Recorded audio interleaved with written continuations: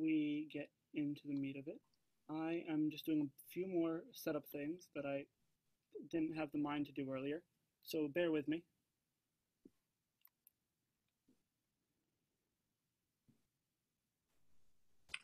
Uh, oh, wait, nope, that's not what I want.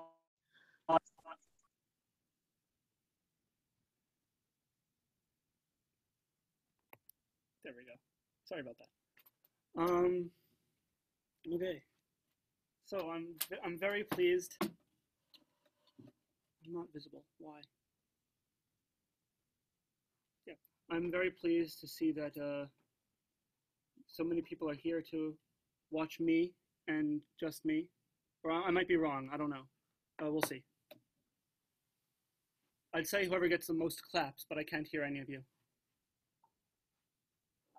Regardless, I do truly hope that you uh, have as much fun listening to me uh, present as I had learning and presenting and all that jazz. So without further ado, here is my bass exploration.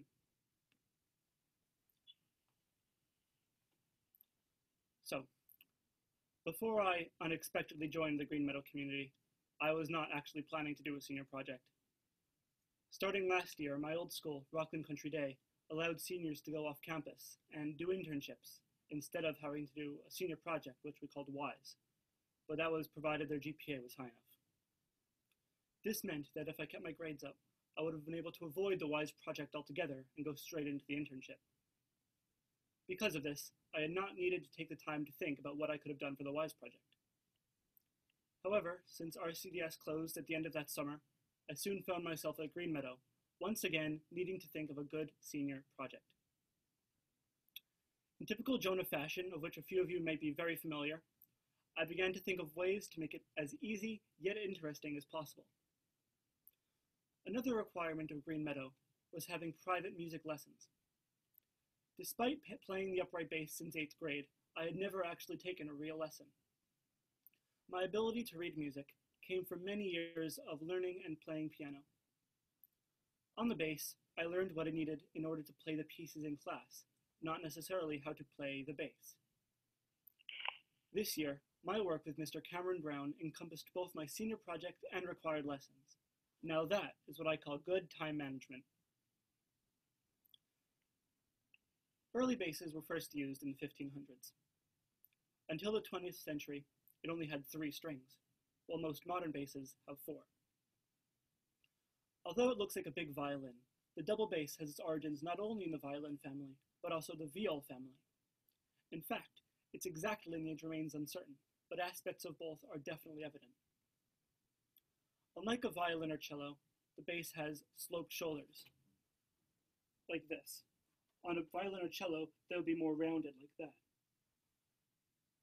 Unlike a viol, the bass has F holes rather than C holes, referring to the hollow holes on the front of the instrument, which help with the acoustics, which you can see here.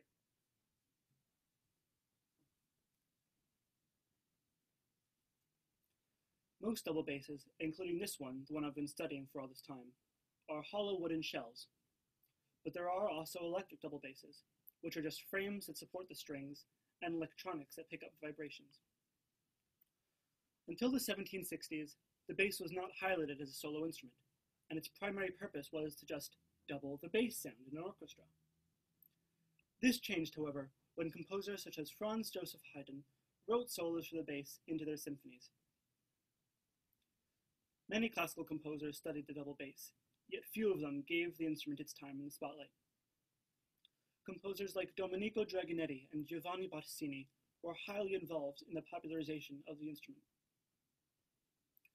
Dragonetti was an Italian composer and double bass virtuoso in the late 1700s to mid 1800s. He was a great influence on other composers of his time. His skill on the bass even inspired Beethoven to separate the bass from the cello in his Third Symphony.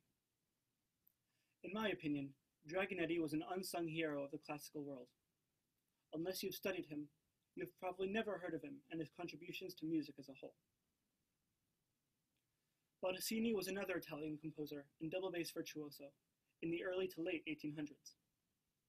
His fame persists even today as many of his solo pieces remain staples in the musical libraries of modern double bassists and are often chosen for audition pieces in conservatory programs. My presentation will not be complete, however, without mentioning both Gary Karr and Edgar Meyer, two names heralded in today's circles of modern classical bassists. Gary Karr, now retired, has been a world-renowned bassist since the peak of his career. A seventh-generation bassist, Karr has been considered the Dragonetti of the modern age because of his innovation in modern classical bass music. His contributions to the field have fundamentally changed the way the potential of the instrument is viewed. Edgar Meyer is a highly sought-after bassist and composer. His fame stems from his musical skill, technique, and composing ability. Among the people Meyer has played with is Yo-Yo Ma, the world-famous cellist. In 2015, Meyer was awarded his fifth Grammy Award for Best Contemporary Instrumental Album. Unlike Gary Karr, Meyer plays in many different musical genres and continues to tour to this day. it was in the early 1920s when the use of the double bass was further highlighted in a fresh new genre of music, jazz. In jazz, more modern use of the double bass is very common. In the 40s, however, the bass achieved notoriety as more of a solo instrument. This newfound use was furthered by the likes of Jimmy Blanton, Paul Chambers, and Charles Mingus, all well-known innovators in the jazz world. Blanton, who lived from 1918 to 1942, brought the bass further forward as a solo instrument. During the time period when he played, the bass line usually held the rhythm for the other instruments, which created a fuller sound. Moreover, Blanton's gift of highlighting the bass as a melodic instrument, probably due to his violin training, increased its popularity as a solo sound. Chambers, who lived from 1935 to 1969, was another iconic jazz bassist. He followed Blanton and is best known for setting the bar for future bassists.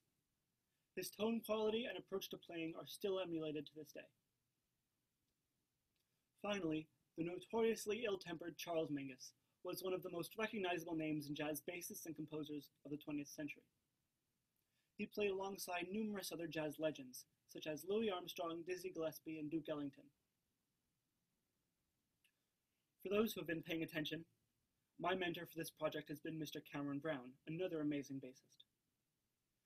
Mr. Brown is known around the world for his work as a soloist, composer, and member of modern jazz ensembles, including the Don Pullen and George Adams Quartet. In addition to the two ensembles he leads, he also has a passion for helping young people discover and pursue jazz. His work spans around the globe, and in the US includes summer jazz workshops in Vermont, the New York City New School for Jazz and Contemporary Music, and students just like me at Green Meadow trying to multitask and complete their senior project, for which I am very grateful. Along with learning from Stern how to consistently play a steady and resonant bass line in the orchestra, I began working with Mr. Brown in the fall, and we had regular lessons every week. Even though I never had a proper lesson, he was really impressed with my skills. He could see that I knew all the basics, but my bow handling wasn't great. he suggested I play using the German style of bow, rather than the French bow I'd been using all this time. The two styles vary in length and weight. The French bow, seen here, looks like a bigger but shorter version of a regular string instrument bow, and is held similarly, overhand. While the German bow, another similarity of the viol family, is held underhand with a much wider handle. Unfortunately, I don't have one with me, but it's held similarly to this. It took some getting used to, but after a few lessons, I soon got the hang of it. A few months ago, I had the opportunity to see Mr. Brown perform live alongside pianist Harvey Diamond at a jazz club in New York City. It was incredible to watch him completely dive into his element. During the performance, I observed the almost meditative improvised solos that both the pianist and bassist played. They weaved in and out of the written music, bringing the audience along for the ride. This was a great experience for me because I was able to be surrounded by the music that I had spent so long studying. I found my lessons with Mr. Brown to be informative, engaging, helpful, and of course, very fun. All things you'd want in a, in a music lesson. Working with him expanded my knowledge of the bass as well as my ability to play, which hopefully most lessons should do. We worked on typical things like scales, bowing, arpeggios, stuff like that. For today's performance, we chose two etudes by Edward Nanny, a classical French bassist and composer who lived from 1872 to 1942. The first is in D major, and the second is in A minor. If you bear with me, I hope you'll enjoy them.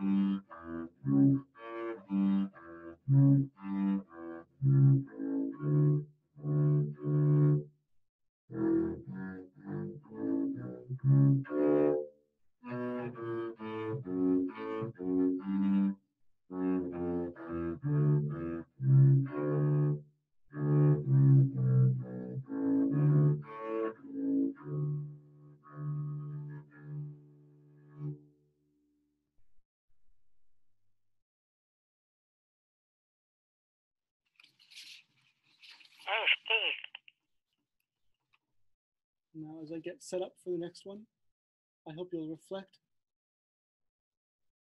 There we go. Please enjoy Etude in A minor.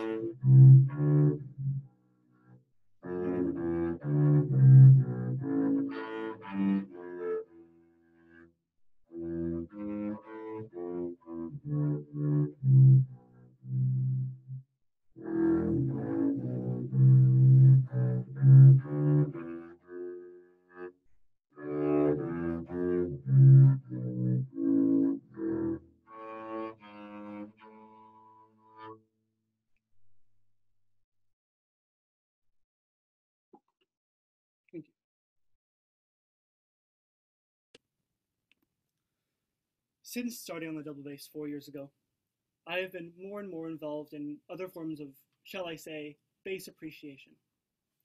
I started by adjusting the speakers in my mom's car to increase the bass volume so I could really feel and experience that sound. I also began to listen to some great rock bassists, including Flea of the Red Hot Chili Peppers, Chris Wolstenholme of Muse, and John Deacon of Queen, which was already my favorite band. More importantly, it also inspired me to start playing the bass guitar. This guided me to discovering some more great songs with heavy bass. Eventually, I started a band, and in the process, made and reinforced friendships that last to this day. As the future creeps closer, so does college. Moving forward, I have been considering pursuing music, but that still remains to be seen. Regardless, I still fully intend to continue exploring the double bass, as I let the low sound reverberate within my soul. Thank you very much. And a huge, huge thank you to all of the people who helped me make this happen, including obviously Mr. Brown and Miss Jackie Stern, the orchestra teacher, and Miss Cologne and Miss Lynn, who have been my, on my back this entire time, pushing me to get this done. So, from the bottom of my heart, thank all of you so much, and thank you all for tuning in to to uh, watch little old me. I appreciate it.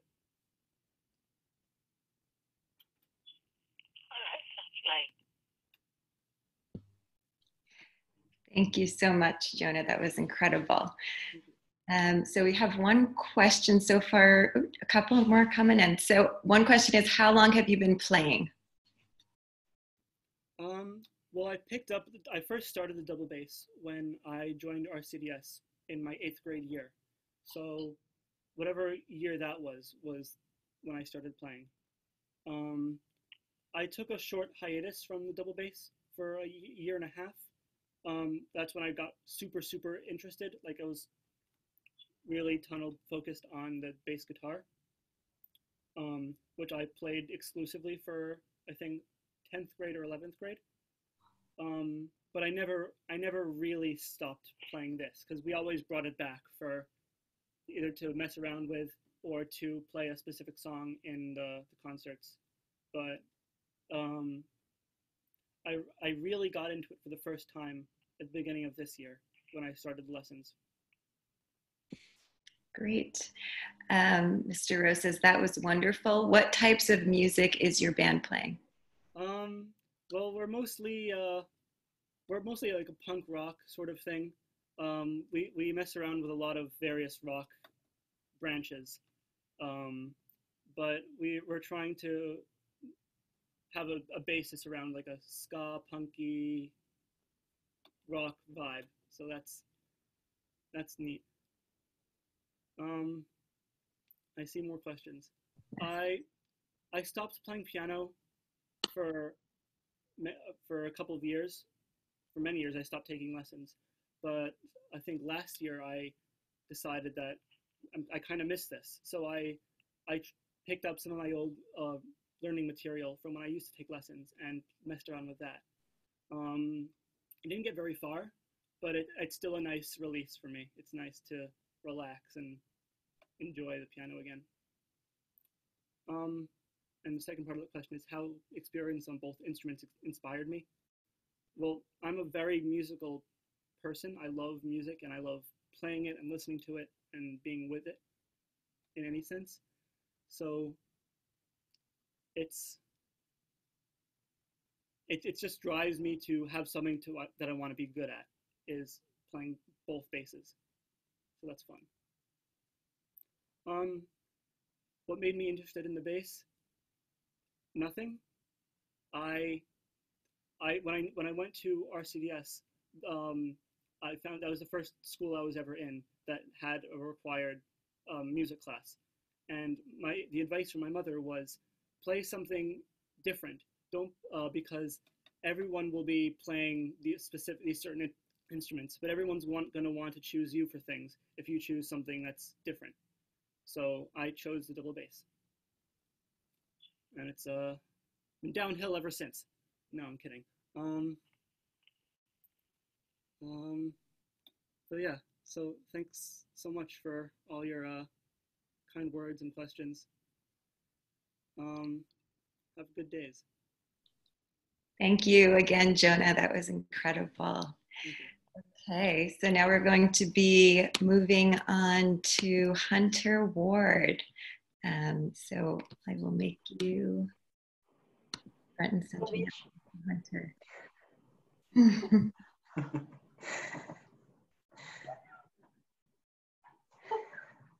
Good morning, everybody.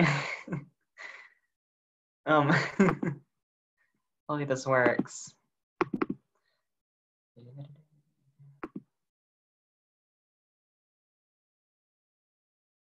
Yeah, it works.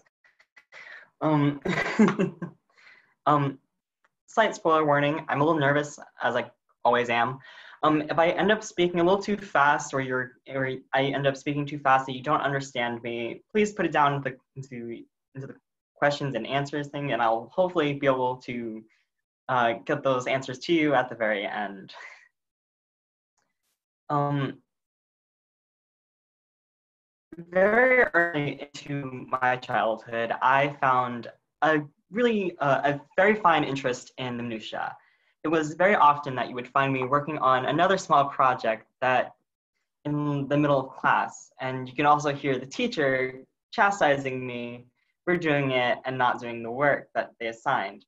Of course, they made me put it away, but that never stopped me from doing it the very next class. Uh, as I continue, went to Green Meadow, I was able to fully develop my skills through the arts from watercolor to just the small projects that I ended up doing kind of on the side throughout the days. And because of that, I decided to explore crochet as my senior project. Um, now, crochet is the process of creating a textile by using a crochet hook to interlock loops of yarn thread or strands of another material. Um, the key difference between crochet, which you see on the left, and knitting on the right is that each stitch in crochet is completed fully before the next one has begun, while knitting keeps many stitches open at one time before at the very end you would close them all. Though there are certain stitches in crochet that require um, multiple stitches to be open at one time, and then that group of, of open stitches would be considered that one Um, yarn had, I mean, crochet has been used to create different things like clothing, bags, stuffed animals, decorations, and graffiti, surprisingly. You're probably wondering what I mean by graffiti. What I mean by graffiti is that in certain cities, around certain times, certain people will come around and start putting crochet onto things that you might see every day.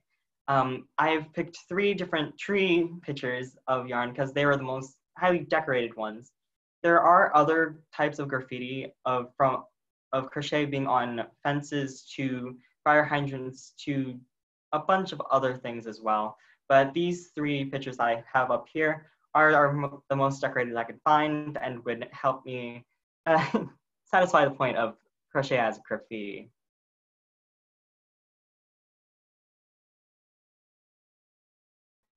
Um, there are many different types of crochet hooks. Um, each hook is marked with a certain size, both with a, with a letter as well with a number.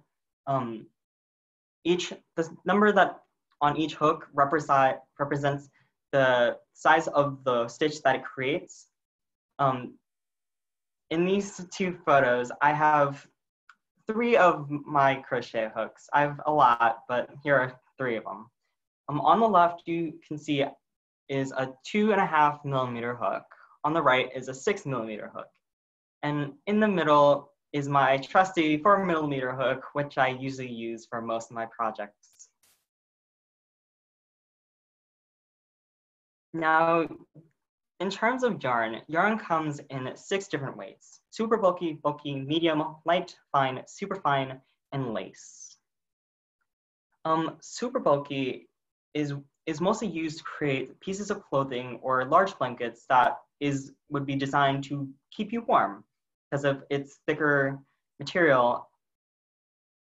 Um, it's a little bit difficult to work with, mostly because of of its size in general, as well as the need of having to use a bigger hook to work with it. Medium weighted yarn is what you would usually find in the store. like Target or Walmart. In order to find the other weights like super bulky or lace, you would need to go to an art store or a more specialized yarn store. Uh, most projects are made from this type of yarn, mostly because of its, of its availability. Um, fine, superfine, and lace are the last three weights that I'll discuss. Uh, due to their thickness, they require a very small hook. It's difficult to work with these as, as because mostly because of the thickness of the, of the threads themselves. As you work with them, if you pull too hard, they will fall apart in your hands if you tug too hard. And there's nothing worse than having yarn fall apart on you when you're midway through your project. Of course, there's also natural yarn and acrylic yarn. Uh, natural yarn is what, what usually comes to mind with silk, wool, bamboo fibers, cotton, plant material. Um, there's also acrylic yarn, which is made from a man-made plastic fiber.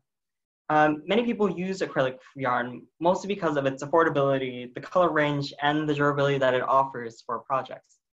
Um, for my two projects, I decided to work with acrylic yarn. Of course, whenever you decide to start a project, it's great to create a picture or at least a drawing of what you expect your final piece to look like. Um, at the very beginning, I contacted my grandmother, who is my mentor, because um, I wanted ideas for what my first project should be. Uh, what we came up with was a small blanket that was made exclusively from hexagons. Uh, here are some of the pictures of that process. Uh, as you can tell, it ended up being a whole bunch of hexagons in many colors. And here is the picture of the final product. I apologize if it's a little fuzzy on your screen. My camera, it, I haven't used it very often, so my phot photography skills aren't very great. Of course, my project didn't end up looking exactly how it was supposed to. So I, about halfway through my project, I ended up coming with a problem. The problem was I ran out of yarn about halfway through. Um, so in, in the project, you might be able to see if your screen allows you that there's five different colors there, whereas in the original pattern, I had three. Um, I unfortunately had to order more yarn, but because of the time frame of which I had originally ordered my yarn a few months prior, the yarn that I got came from a different dye lot, which meant that it was a similar color, but it wasn't the exact color that I was looking for. Of course, I didn't want to do extra work since I had already made at least half of these hexagons that I needed. So I ended up changing my pattern in order to satisfy what I had with what I will need. And this is what it looked like ultimately. And just a brief reminder of what my original plan looked like. About towards the end of the first project, one afternoon, Miss Volpe called me, contacted me, and we made a meeting and she started showing me these patterns of quilts from Gee's Bend, which are like historic and they're and overall are very artistic and very abstract way. Also around the same time, I found a few interesting images from Pinterest. Uh, from these two, the two ideas that I ended up having, I grew very inspired and I wanted to create a second a second project. Now, before I started began making my second project, I started making different squares to test to see what colors that I wanted, as well as kind of the overall pattern that I wanted to go with. Since I would have to make a bunch of these, and I didn't want to make each one unique because that's draining on the brain. Um, the top two were a little bit of a test. It was a, more from of a test of color rather than pattern. Um, and the bottom two, the white and the purple, were experiments on patterns. Towards the very end of my testing, I came to a conclusion that I would be making my project in black and white. Now, why would I choose black and white? I chose black and white mainly because I wanted to create a piece that was that was simple but looked more complex. I could create another piece with color, but I decided I wanted to explore using black and white. Now, here is one of the pieces that I made in black and white. Now, you're probably wondering, since I keep pulling on these pictures of these very abstract, cool looking uh, squares, uh, I found out that these squares were made from a type of crochet called mosaic crochet. Uh, specifically, they're um, crafted from in rows, meaning you make one row and then as you make them, you bring your yarn down and attach it, and it looks really cool towards the end. Um, but the squares that I was looking at were made in more of a circular motion. Uh, although it looks complicated, uh, in reality, it's as simple as counting, one, two, three. Uh, it's created from certain patterns of single crochets and double crochets. Two of the stitches you can learn as a beginner. Now, I'll use this close-up picture as my reference since I obviously, yeah. uh, what you can see right above that white, those white stitches, those are single crochets. This longer stitch is what you would call a double crochet. And as you can see, it's attached into the row below it.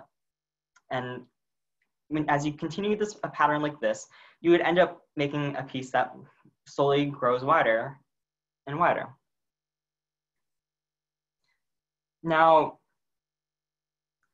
I learned this pattern from Tina Thorvadar, a fiber artist from Iceland. Uh, she has published three different books as well as edited one.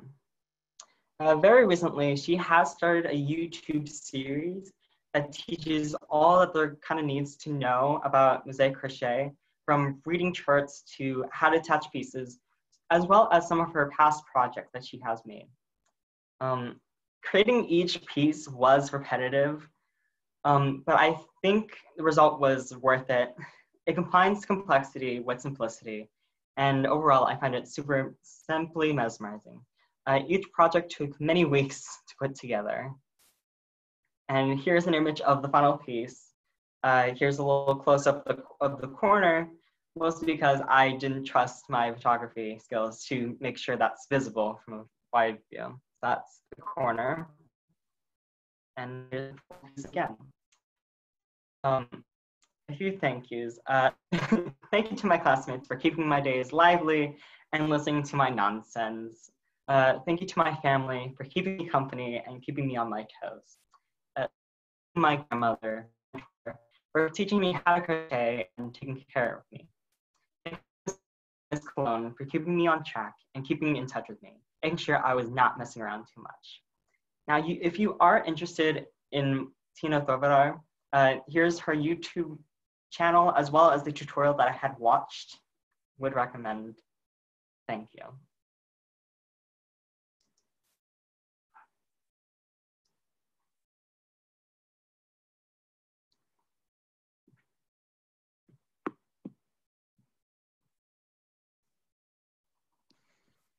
Thank you so much, Hunter. That was incredible, and your artwork is really amazing. A um, couple of questions came in from Ariel. Did Green Meadow's hands-on education nurture your love for handwork? Kind of.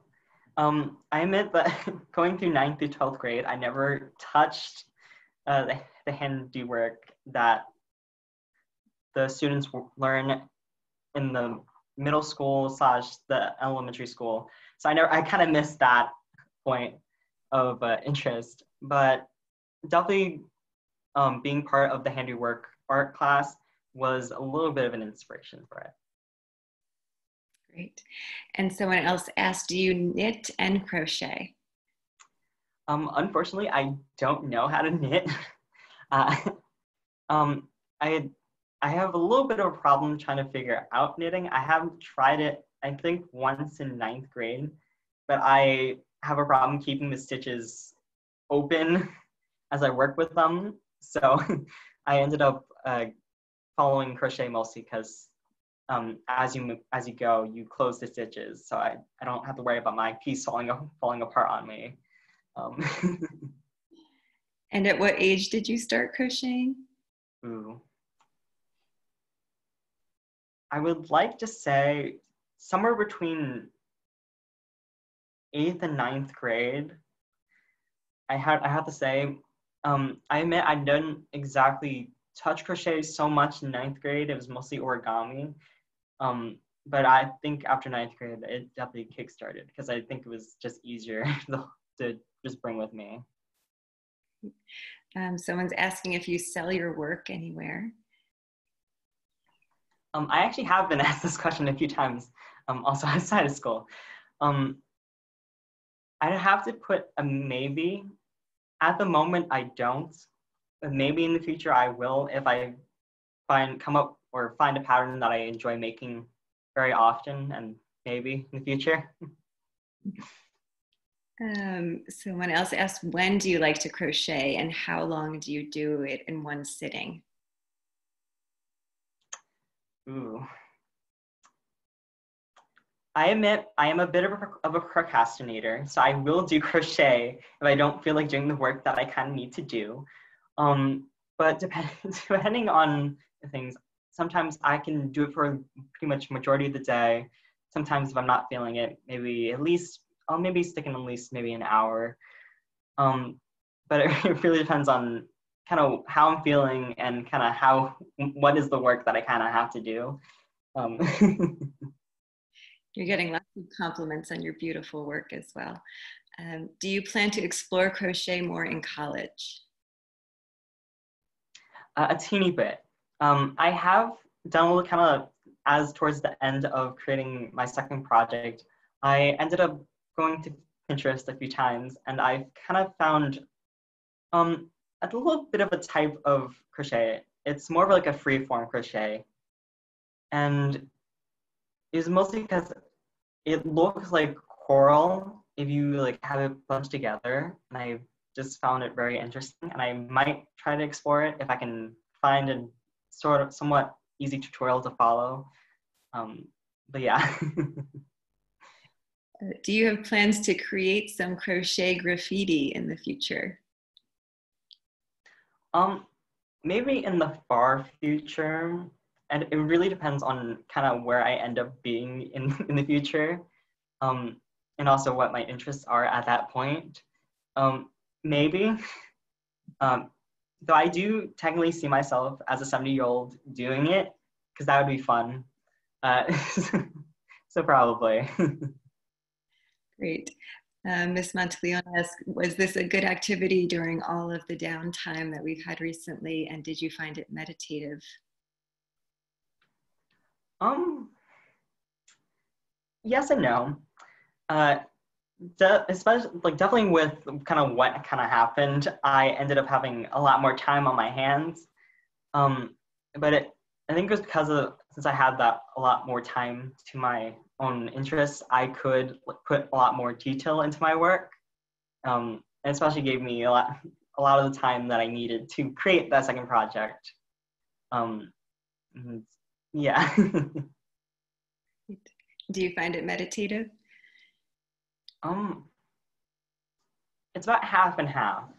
Or like I half find it meditative, half enough time for me to kind of zone out and listen to music. So it's about half and half. Great. Uh, Mr. Rowe asks, is the process or the product more satisfying for you? I would also have to say again, a little bit of a half and half. Um, because at least, like I, because I had a lot of um, fun kind of like trying to figure out what type of border I kind of wanted and kind of searching for what pattern I kind of wanted. Um, but also kind of having, just having the end result is also just amazing. So. Yes. Miss Caldwell asks, how do you feel and what kinds of things do you think about when you're crocheting? Hmm. I usually end up thinking about a lot of things because it's usually just me sitting down with yarn in my hands. Um, but majority of the time, I do probably end up listening to music. I think my thoughts end up through that because I end up searching for music for at least majority of the time. So, yeah. Okay. Ian's suggesting that you uh, put your stuff up on Etsy. Uh, how long does it take to complete a crochet doll? Um, depending on the doll, at least with with the kind of the speed slash time that I end up putting into it, I'd have to say, like if it's about maybe a medium sized doll, like within a week, maybe. It really depends on the size. Like a small one, I might be able to finish within a day, but as it as the bigger that you make it, the more time you will have to put into it to finish it. Okay. Um, Mrs. Leith says, Hunter, your final piece is simply stunning. Thank you for this inspiration. I love how your pieces had some inspiration from the quilts of Gee's Bend. Do you think you might work in a more abstract way in the future? Maybe. I think I'd have to at least look for more inspiration to kind of look off of. Um, I think mostly because I had found partially of that those pictures from Pinterest that around the same time that Ms. Holtby had shown me those pictures. I think I was ended up being more pulled by those pictures. But maybe in the future, if I find um, something that interests me, I might be pulled to make something a little bit more abstract. Okay, I'm just going to combine these two. How did you start crocheting, and who gave you the idea of doing crochet? Um, it was I learned and I ended up learning crochet from my grandmother. It, was a little weird of a backstory because we were kind of in in the library. Um, she kind of pulled out a ball of yarn and gave me a crochet hook. Um, I'm pretty sure we were there for either a, either a movie or some showing, and we ended up being there a little early. So she pulled it out, and then she started teaching me. She tried teaching my siblings, but I think they were having I think they were playing like a card game, so they were a little busy at the moment. So. Great. Yeah. What is the biggest crochet project you've done? my biggest crochet project? Um, I have to say my second project, the black and white one, that's the biggest I have right now. It's a lot bigger than I originally planned for it because I thought it was like another small blanket, like the green one. But this one is easily at least twice the size of that one. So. Um, someone's asking if they could see the, the pieces again. I don't know if you could pull up the picture. Um, and then what's your favorite piece that you made and what are you most proud of? The last question. Uh, I guess I'll answer this a little out of order. Um, my favorite project is the black and white one, mostly because of the border. Um, because I just because it was it took me a very long time to find that pattern as well as kind of just put it together because it requires so much yarn. So I'll show the those pieces. Uh,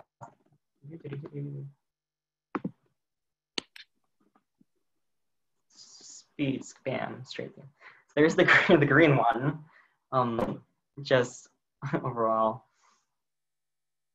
Wait for a second.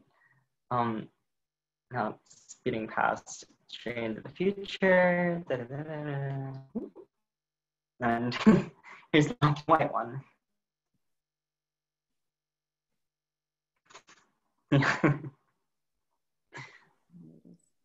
okay, great. Thank you, Hunter. Uh, one last question. Does anyone else in your family um, have a love for crocheting? I guess other than your grandmother? Um, Maybe. I think I think maybe. It's a little hard because usually they're a lot more busier than I am, so possibly. But I, but majority of their afternoons are filled with other things that they do. Um, like McKenna usually draws, and Gavin usually also draws. Um, so maybe, but their their week weekends and afternoons are a lot busier than mine. So.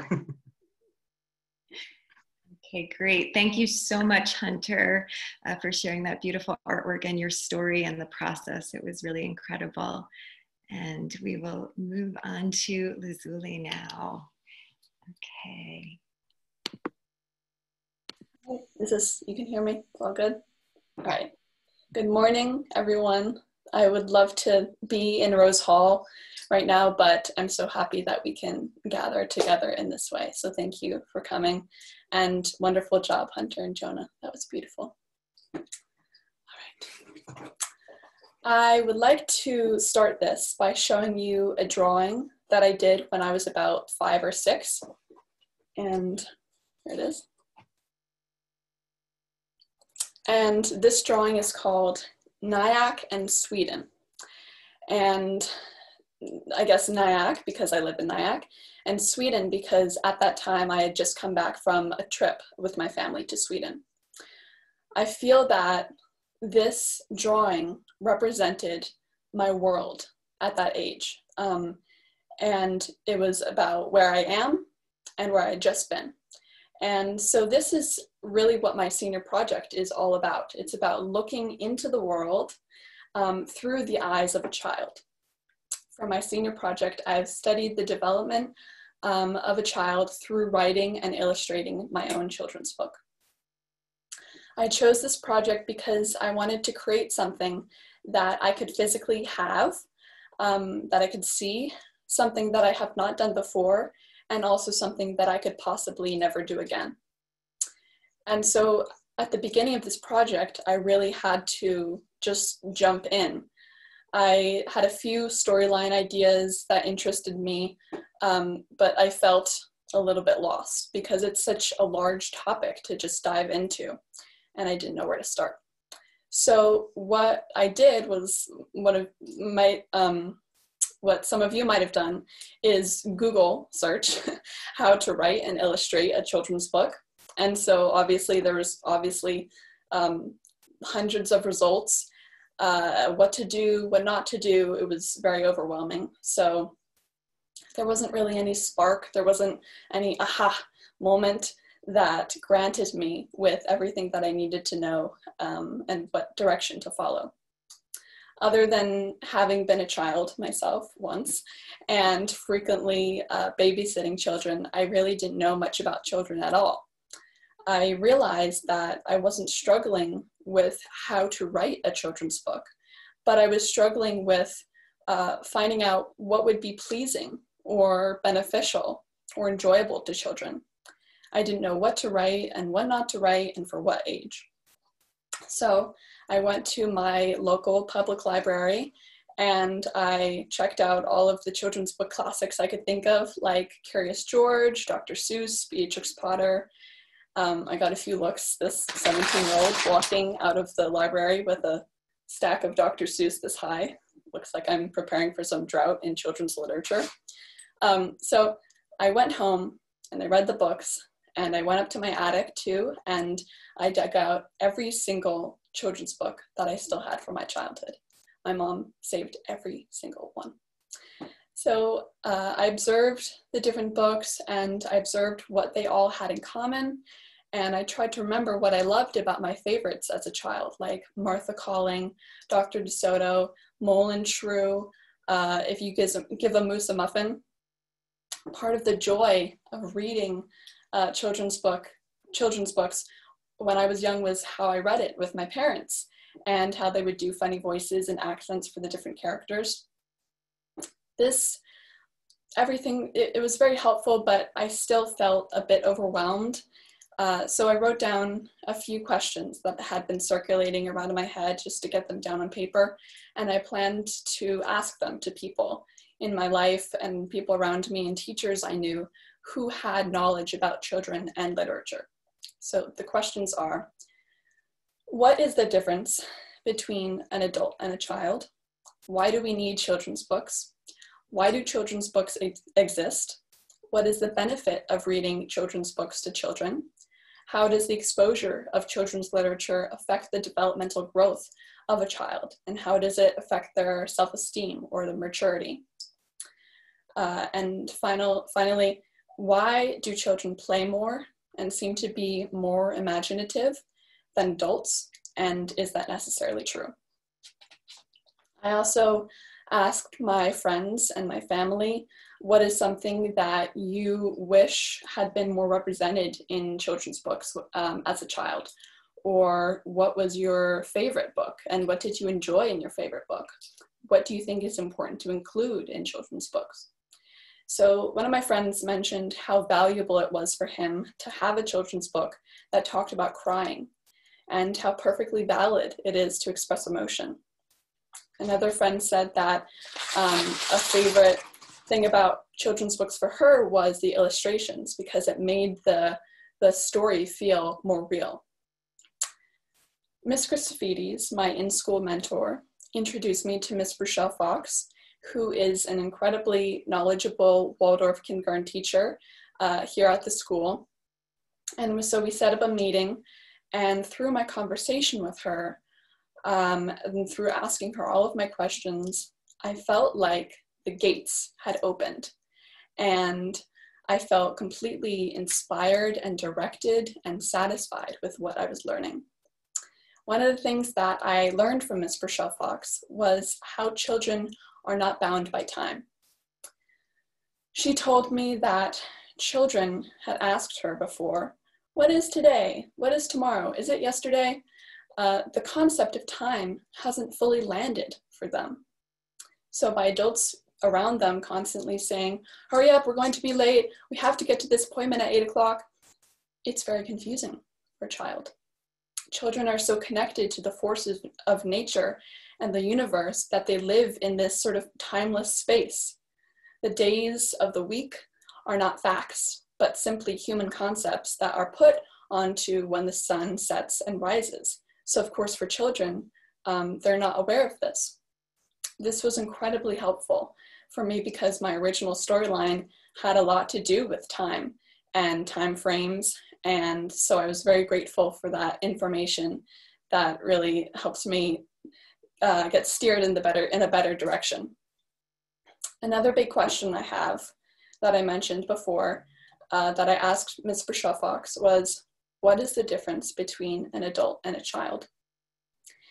This is obviously an enormous question but her answer was perfectly clear and, uh, and deeply helpful. She said, Children are more religious. Children are more religious. Uh, not talking about an orga- organized religion or a certain faith, but instead that children are more devotional to everything in their life. They become devoted to the sound of a bubbling stream or to a shiny rock that they find on the ground.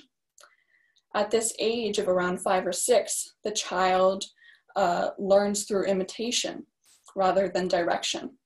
In school, the kindergarten or nursery teacher must make sure not to instruct the children, but to instead guide the children, and they will follow, stimulating a sense of directedness that has not yet developed within the child yet. I look at this meeting um, as a pivotal part in my project. This is when I really understood what my next steps were, uh, and I was no longer reaching around in the dark. So, as I had said from this conversation, I realized many things, many things about my storyline um, were wrong, and I had to just completely scrap it. And I originally wanted to have the book be for anyone, I wanted anybody to be able to read it but after reading around, I, uh, I learned that many sources encouraged authors not to do this because if you focus, you know, if you say anybody, then you're not focusing on a specific age group. And you have to make sure that what you're writing about is developmentally um, accurate for the child at that age. So um, if I wrote it in a beautiful and interesting way, then anybody would be able to enjoy it. So I chose to focus on kindergarten age children, so around five or six. I had started out with an idea of what my project was going to be write and illustrate a children's book. But in the beginning of my project, I skipped a crucial step. I cannot write for a child if I do not understand uh, what a child is able to absorb and to appreciate. I need to know about children to write a book for them. And how could I write something for a child without understanding them? For a while, I um, had to put what I thought was the most important part of my project, which was the writing and the illustrating. I had to put that completely on hold. And it was essential for me to study child development, both spiritually and mentally. I studied two books um, of Rudolf Steiner's lectures. One was The Knowledge of the Human Being Through Art, and the second was uh, Poetry and Meaning of Fairy Tales. And I also sort of kept an ear out in my own Waldorf education and observed my own um, growth and looked back at, uh, at how, I, how I felt when I was a child. So, through all of this research, I learned that children have this magical intuition. They are instinctual and they're connected to the rhythms of nature. When a child is born, uh, they immediately know how to um, feed off of their parent's breast. They know how to crawl. Although uh, this being, this baby, is very seemingly individual, um, in an ind- individual form of a human, the child does not recognize that. And so they feel no separation between themselves and the world, as maybe an older individual would. When we grow older, we become more distant from that instinct and we can feel directionless. Since children have not yet been taught to separate themselves from people, from the world, they have an abundance of compassion. I find that some of the deepest and most essential life lessons we can learn from spending time with children. And this is what we ultimately all want, I think. We want to have the quality of thinking like a child. We want to have that connectedness and that trust and that divine intuition that a child has that maybe they aren't even aware that they have. And so, how do we preserve that connectedness and that pure love that pours from a child when we start to gift them with things like media and books and toys? How do we keep their imagination alive and thriving and raw and natural um, without putting constraints on it? So, uh, Steiner says in The Knowledge of the Human Being Through Art, he says, education, or I like to think children's books, become evil when we try as far as possible to turn the people into a copy of our own opinions and feelings. So this uh, phrase, this sentence, became the sole, uh, sole mantra in my project. I wanted to create something that would be beneficial for a child, would not push any concepts onto them. I simply want the child to enjoy my book and for it to match the developmental level that they're at. My work with my out of school mentor, mentor uh, Sarah Perilli, who is a Green Meadow alum, an artist, an art teacher, um, and a children's book illustrator, really uh, transformed how my project took form in my mind. And she introduced me to the inner workings of uh, what I would have to do to get my book rolling. And through our conversations, we, she revealed to me many things she learned um, from being a teacher and working as an illustrator in the children's, children's book world. She shared with me different ways in which children experience the world. And she also said something that was incredibly helpful and insightful for me she said, um, imagine as if your project is finished. Imagine as if your project is finished. And so for me, I was sort of flailing around. I didn't know what to do. I was trying to go, you know, here and there and get all this done. And I was losing sight of my goal. And so by her saying that, I was able to take a step back and to look at my project and look into the future and see what I want it to accomplish. What is the essence of my project? And what do I want um, it to bring to the world? So I was able to look into the future and see um, maybe not exactly what my story was, but I was able to see what I wanted it to be and what it was going to look like. And then when I later got into actually writing the book, it was very helpful to see um, and to think of it as a finished project in my mind, but just keep doing it, um, you know, page by page in real life. Uh, with senior projects, I think that it's a given that it's not going to go uh, or turn out as you think it would. And the whole project, um, I feel that the whole point is not just to create uh, a product, but just experience working on something for a long period of time and really learning from the journey. One of the hardest parts about this project was sitting down at my desk or my computer and saying, okay, create right now, be inspired right now because that's not how inspiration works. and one cannot force themselves to be inspired. Uh, and so before this project, I was so used to writing or drawing on my own time whenever I felt like it. But now I had to really be strict with myself and create when I wasn't feeling creative and really, you know, be like, okay, you have to get this going. And when I was about to go to sleep at night, usually that's when all my best ideas would come. So I'd be like closing my eyes and then I would wake up and reach to my bedside table, try and find a piece of paper to scribble my idea on. And then I would use that when I wasn't feeling creative. And that was sort of how my process went. Another hard part about this project was the self doubt. I had to keep reminding myself that this whole project is a process and I'm not going to come to all of the answers uh, that I want to come to overnight. I also doubted my ability to be able to create something wholesome and beneficial for a child. Um, I was sort of fearful that I was going to create something that didn't match up with what I was studying and blah, blah, blah. So I really had to just keep focused.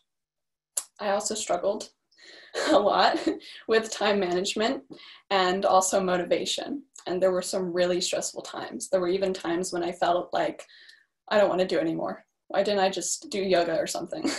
I don't I don't want to do this. But um, uh, there were also some wonderful times, and I just had to keep pushing through it. And now I'm at the end of my project, and I'm really proud of myself and happy that I kept pushing. So, now getting into my book. I had a few rules for myself for this book before I even started creating the story. And those rules were I didn't want the main character of the book to be a giant focus. And I also didn't want that character to have a name or gender or a race because I wanted the child um, reading the book to be able to relate to that character and not have any type of boundaries. I also learned that it's really uh, beneficial to make the main character in a children's book, make them a child, so that the children reading it feel connected to it and they would feel a little bit disconnected um, if the main character was an adult. I wanted the main focus of my story to also be the journey and to be moment by moment because that is how a child of this particular age group goes through the world and I didn't want to force any concepts on children through my storytelling. Uh, so I kept the story very organic and I centered it mostly around nature and the natural world. This project, whew, it's taught me to be more in tune with myself and my own creativity. And uh, through my studies on child development, I've realized that in the future, I would love to become a Waldorf teacher for kindergarten and uh, a nursery and early childhood. So that's, that's the kind of thing senior projects can do. They can really change the trajectory of your life. One thing I would like to say before I wrap this up and read you my book is listen to children. Listen to children, please. Listen to them, connect with them, respect them, because they are younger does not mean that they are less qualified um, to have opinions. They are beings just like adults. And I truly think that they know more than adults. So we can really learn from them by listening. So thank you so much. And without further ado, I will read you my story.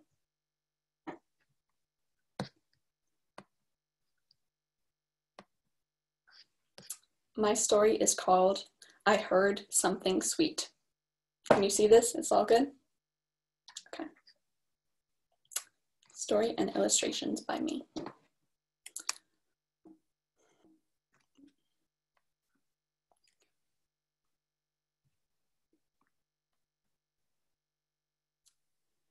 The sun had set, and the moon peeked its round, jolly face in through my window. I was tucked under my covers, my lights were off, and my peepers were closed. Isn't it lovely to be cozy in bed? And so I drifted off to sleep. It feels like swimming around in a pool of warm, ooey gooey honey, around and around and around. I am dreaming now. Anything can happen.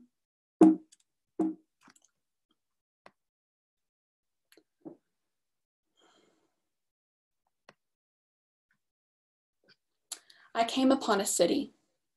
Some buildings were so large that not even the tallest giraffe would be able to see the top. I smelled flowers from the florist, and fish from the market, and coffee from the cafe, and garlic from the restaurants. Everyone was moving in a bus, on a bike, on their feet, with their wings, moving, moving, moving. As I walked down the main street, I waved to everyone I saw. Doesn't it feel good to say hello? Among all the hubbub on the streets, I heard something sweet, something different from all the rest. A soft melody drifted in through the crowd, right into my ears.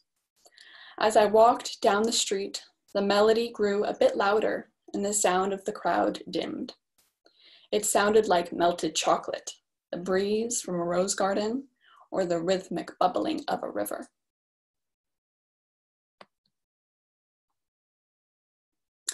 I followed it for a while to a lake. As I walked closer to the lake, I realized the music was coming from within. I held my breath and dove in.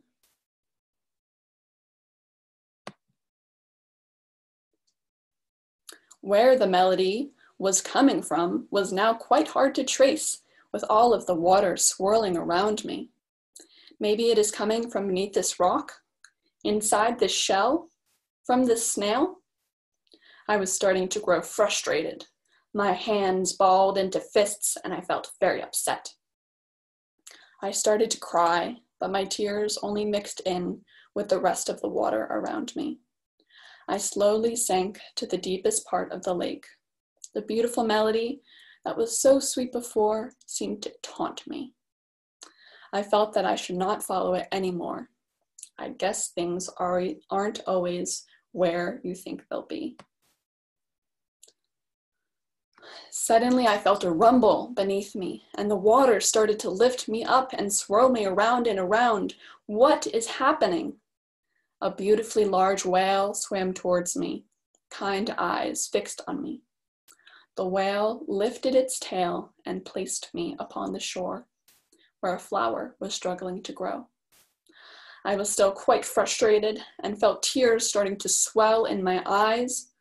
My teardrops rolled from my eye to my cheek, to my lips, to my chin, until they fell down to the earth by the flower's stem. With every teardrop, the flower grew a bit bigger and bigger. Now that I had cried, I felt much better. I had helped the flower grow, and I had listened to feelings. I kept walking towards that enchanting melody, which now seemed to come from atop a mountain. I walked and walked and walked until I reached the tip top. I hadn't really realized how high I had climbed. I climbed so high that I could see the whole world below me. I had never been so close to the moon. Moon, do you ever wish you were the earth, green and large and a place of birth? Of course not, child. What a thing to say. I would not have it any other way. I am entirely too busy being the moon, so shiny and so bright, like a big white balloon. Anything other than what I am would not be right. I am grateful to watch over you every night. I like being me. It's so great. There is not another me, not two, not eight. And there it was again, that ticklish melody that beckoned me on to my journey once again. So I set off. Suddenly, I realized I was not where I thought I would be. I felt lost. The trees around me were ones I hadn't seen before, and I couldn't see the sun anymore. Everything seemed so different. I tried to listen for the music I was following, but it was ever so soft now. I walked a bit further into the wood. I heard a rustle. I heard a crack. Who or what is crawling around me? Hello? My words went unanswered until I came to a clearing in the forest, and two large magenta eyes stared at me. Since you are standing here, you might as well share who you are. I mean no harm. I seem to have gotten lost. The eyes blinked at me. I mean no harm either, child. Surely there's a solution. Might I be of assistance?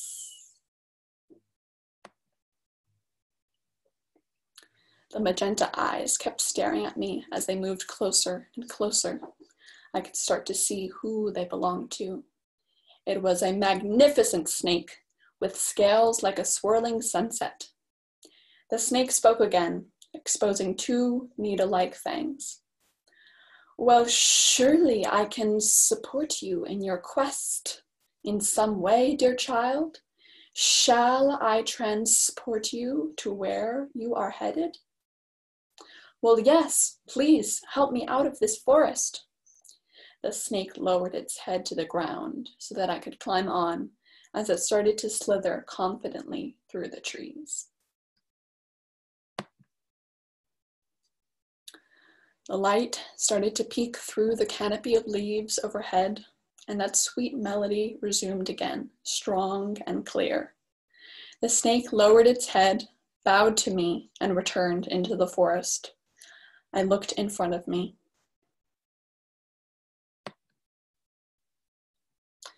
The melody started to swirl around me, and I felt it fill my heart. I could hear it so clearly, I knew where I needed to go. I followed it with the utmost delight. The end.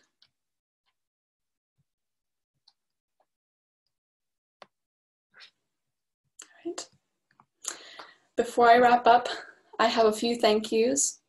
Um, I would like to thank Miss Christofides, my in-school mentor, for being incredibly supportive and inspirational and helping me with so many aspects of my project, such as editing and zooming with me constantly and supporting me and helping me bounce ideas and just being so incredibly helpful. So thank you, Ms. Christofides. I would like to thank my um, two advisors, Mr. Rowe and Ms. Volpe, for being just the greatest and helping me and guiding me through this year and supporting me and my whole class. So thank you. I would like to make thank Ms. Cologne and Ms. Monteleone, my two uh, guidance counselors, for helping me, uh, you know, start this project and move through this project, and really go through the year and make sure I'm on track and everything's getting done. So I thank you so much. I would like to thank Ms. Rochelle Fox for our conversation and her guidance that really opened my eyes, as, as I said, to how my project took form. So thank you so much. I would like to thank um, Sarah Perilli, my out of school mentor, for being incredibly uh, supportive and inspirational and helping me uh, with so many aspects and uh, helping me find out what my true um, my true goal is with this project. So thank you so much. I would like to thank uh, my parents, Sky and Eileen, for being the best and supporting me um, in every way you can support a person. They have helped so much with this project and helping me stay on track. And when I'm feeling discouraged, they lift me up, and I, I value that so much. So thank you. And I would also like to thank my dad for helping me lay out this whole book um, and helping me with all the techie stuff. And just both of them for giving me the tools to create this project. I would like to thank my friends in school and out of school for supporting me, giving me guidance, for listening to me and encouraging me and helping me. and loving me and supporting me. So thank you so much. I would like to thank my incredible and chaotic and silly class. Um, you all have have been through we've been through so much this year and it's been a pleasure to get to know some of you even more and to be continue this journey with um, others. And i'm so incredibly proud of each of and every and every one of you. And when i say my class i also mean people who um, were in our class before this year as well. So thank you to everyone i finally would like to thank green meadow thank my waldorf education and just this whole school and this community that really helped me feel um, connected and guided and happy and educated. And it's been a pleasure to be at this school. So thank you, everybody. That was truly incredible, Lizzie. Thank you so much for sharing. Um, your book is, is amazing, and people are asking, Are you going to be selling it? so, at the beginning of this project, I was you know, I I just wanted to create the book, but since I sort of found a different track, I wasn't able to self-publish it. That was originally my main goal, but I'm taking a gap year this year, so I hope to self-publish it and then um, sell it or or gift it to friends and family. So let me know if you're interested, if that happens. Okay, Miss Caldwell said your illustrations are breathtaking. They are so light and free. How did you find your style? Um, oil pastel was so amazing to work with and the way that you know if you're if you are drawing with oil pastel which i used to hate oil pastel but if you're drawing with it it just sort of you know you saw a lot of like swirls and curlicues and things it really just like guides you um i you know, both of my parents are artists, so I have a lot of art in my life and a lot of inspiration. So I, I sort of just gathered it from that. It's very odd. It's sort of, you go into the drawing part, and then before you know it, there's a page in front of you. So a lot of different things that um, have helped me, and also just being interested in art myself. Great. You. Are you planning on writing another children's book? Um, possibly in the future. Um, at the beginning of the project, I said I wanted to create something that I could possibly never do again. But since this was so uh, transformative for me, uh, I could possibly do it again. I really enjoyed it. So, but probably not for a few years. I gotta like calm down. okay, Julia, this was a great project. I'm so happy I was able to see and listen to it. What inspired your storyline?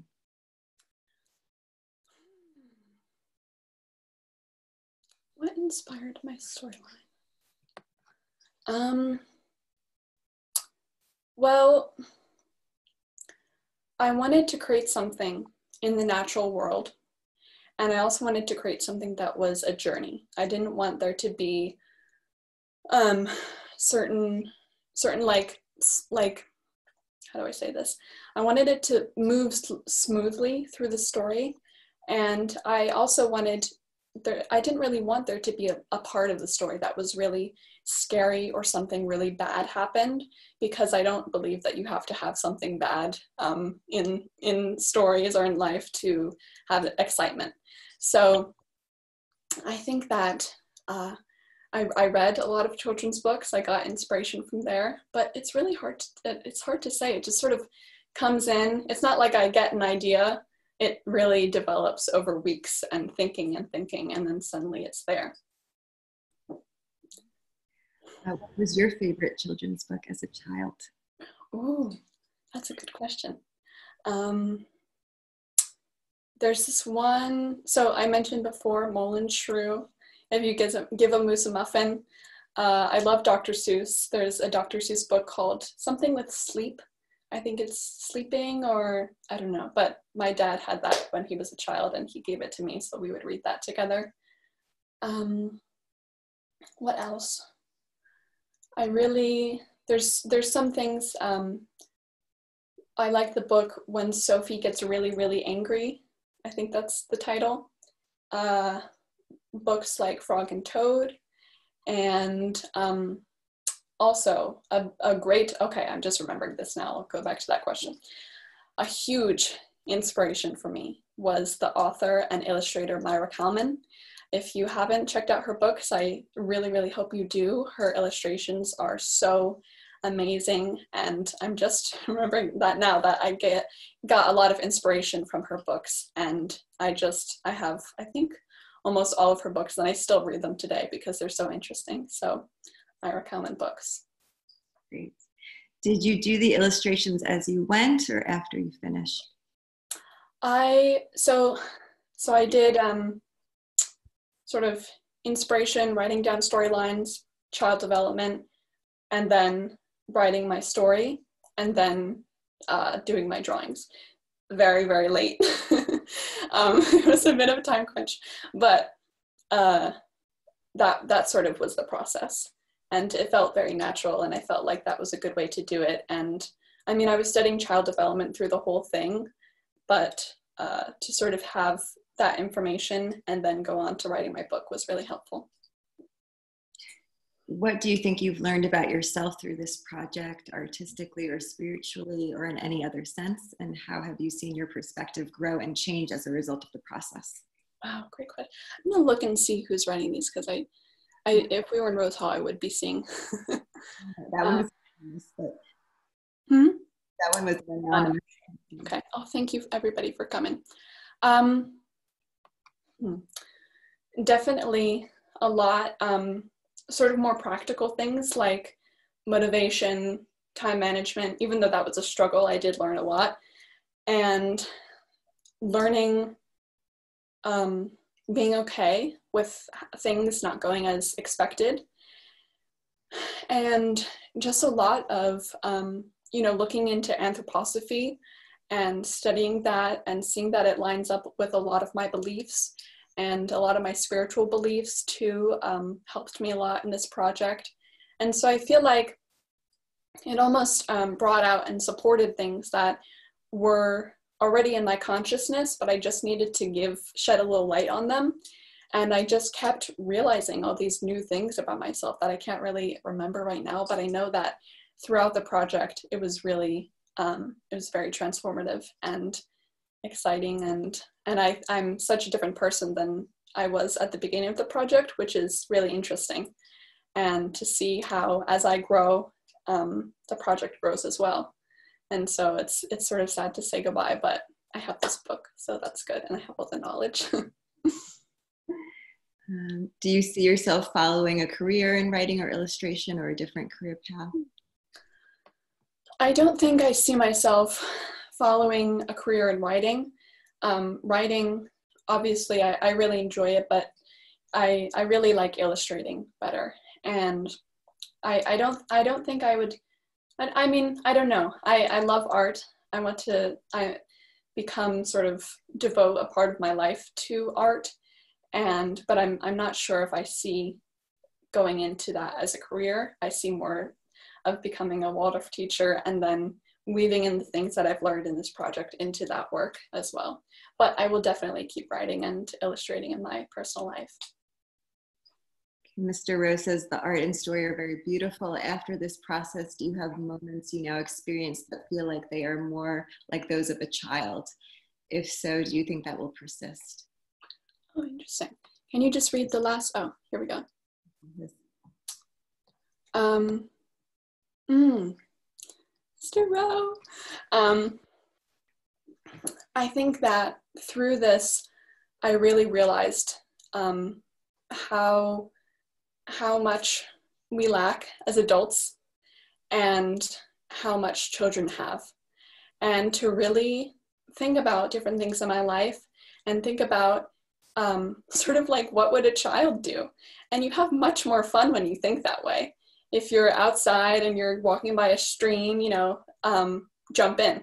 And, and to also sort of look at things very compassionately and connected uh, with other people and with the world and to really to really see see the world as something magical and i really don't want to lose that as i grow older i want to always feel the magic that is in the world and in everything and every being. So I also feel that being at Green Meadow has really fostered that in me of keeping that alive um, throughout the year. So, so it, it I, I almost forgot the question, but um, I, I think that it's a muscle that you have to work on to stay childish um, in the best way. So, yeah. Which page was the most fun to draw from Erica? Ooh, I should have gotten the pages to show, but um, hmm, I really should I show again? Maybe I'll show it again. Mm-hmm. Um, okay. Oop. Okay, I'm not gonna waste time by trying to figure this out. Uh, my first, I um, hopefully will be able to upload this maybe as an ebook or something so people can go back and see. But one of my favorite illustrations was the first illustration that I did. Um, the first page, which is little um, child in their bed, and then it's sort of swirling around, and there's the moon. And I based that off of my own bedroom. So that was fun, and that was the first drawing that I did. And it was kind of surprising because I didn't expect the first one to be my favorite, but it really is. Um, I really also like the one with the whale. I love whales. And the eye and the flower. So those are my favorites and the city, the town. What made, made you want to write children's books? Oh man, I, it's hard to tell. Um, I at the end of junior year, I was sort of making a list with my friends and going energy medicine, yoga, sil- aerial silks, opera singing, and it just came to me. And that's how a lot of things in this project just comes to me from some divine force that just pops this idea in my mind. Um, and i don't know but i i think i thought oh that would be cool. And i have tried to write like children's books when i was in middle school and but they obviously weren't to this extent but i i like writing stories and so maybe it, it just just sort of popped up were you working on this all through the year or did you take breaks sometimes? I took a large break um, with college applications because that was obviously very overwhelming. Miss Volpe, we had a talk and she was like, you, you have to take, you have to stop. So from like maybe December and January, I took time off and it was hard to get back into it, but it was really helpful to help recharge. And with senior project, it's always something on your mind. It's always something you're thinking about, at least for me. So it was helpful to sort of just take that off and focus on school. So um, yeah, and then also in the summer of junior year, I um, took breaks and I I was thinking about it constantly, but there were times like weeks that I just didn't work on it at all. So. Ms. Blythe said that was amazing research. How did it change your relationship to young children? And could you ever imagine to work with them? Thank you for being here. Um, I, it's, it's just helped me so much. And also um, helped me relate to other people, just, just to everybody, because children find that so easy. They walk up to you and be like, hey, like I, my, my cat is blue. And you're like, oh, okay. Um, so they really don't have that boundary, and it's really nice to connect to people in that way. And so um, I'm just going to look at the. So uh, to so I do a lot of babysitting and um, working out at camp, and it really, it really, um, it's it's hard sometimes to not get fed up with children and and um, and they can be very um, uh, enthusiastic and sometimes you're not in that headspace. But really to get out of that get out of all of this of like oh i have things to do and take care of and actually see and listen to children as i as i said. So yes and and becoming a teacher would would be part of that and would be very valuable. And i can attest that you are amazing at that lazuli. You're really able to connect with children in a beautiful way. Thank you Um, did Miss Burchell Fox talk to you about oral storytelling um, without the use of pictures as well? Um, hi, Miss Montiani. Um, we didn't talk about, not that I remember, we didn't talk about, because I know that is a, a big thing in um, the early childhood in Waldorf and how you read stories and that certain voice you have. Um, but we didn't really talk about that. I talked about it with Miss Christofides, and she helped me with the rhythm of my voice and, and how to go through that. And also, my um, mom is a teacher, and she sometimes reads stories to kindergarten. So she helped me with that too, and how to make it like interesting and different voices. Um, so that was really helpful. Are there any other styles of books you like? Comic books? Anything like that? I really like um, I, I don't I don't read many comic books. I, I don't read any comic books actually, um, although I think they're truly amazing, and that's a whole other language to be able to. Um, it's almost like children's books, but it's a little bit different. I feel so, um, but I love. I mean, I love reading and fiction and uh, spiritual books and reading, you know, the lectures and the, also those picture books that are just pictures are really um, interesting to me. And I actually debated having my book like that, but I ended up adding the text. Okay, two more questions. Do you think you will one day make another story building on your drawing Nyack in Sweden? And you think process got you more connected to your childhood and your inner self? Oh, that's interesting. Yeah, here it is again. Um, that would be really interesting. And I hadn't thought about that, but that's something that really interests interests me now. And that's something to think about. I mean, I did look back at a lot of drawings that I had made as a child to sort of get inspiration and and get that sort of loopy, swirly quality. Um, and also, what was the second part of the question? Sorry. You think through this process, you got more connected to your childhood and inner self. Yeah, definitely um, my family, we have a lot of home videos of myself when I was a child. So watching those are also um, always very fun.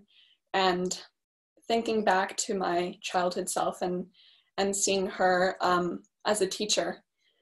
And, um, and just through this project, it really opened my eyes to my own um, development as a human being and seeing, oh my gosh, that did happen. That makes sense. I did feel that at that age.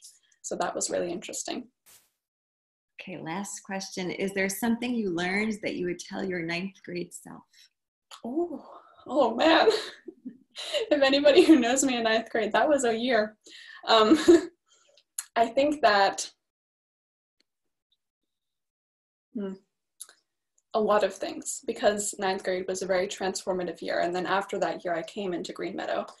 Um, know that things will get better and also to listen to truly what you feel. I feel that there's a lot of distraction of, oh, try to be like this, try to be like that, um, do this, do that. But at that age, I feel like um, you're really finding finding your groove, and you will come into it. And um, really to sort of push that self doubt out of your head and to appreciate um, to appreciate art and to appreciate how saving how much how it can save somebody and to connect with um, with with everybody more and not really have that fear of connection. So a lot of things. That's just a few. There's a lot of things Thank you so much. And I want to thank all three of our presenters for doing such an incredible job today, Jonah, Hunter, and Lazuli. It was really a treat to, to have all of your presentations. And we're so glad we had such an amazing turnout, over 150 people at some point. So this was really incredible that we got to share this with the community. Um, despite it having to be virtual. And I'm glad that we have touched so many people. And I'm sure we'll be sharing um, some information on how to maybe access uh, your book, Lazuli, and your work, Hunter, um, and maybe your band, Jonah. So um, thank you all very much, and I hope you have a wonderful day. Miss Cologne, thank you everyone for coming.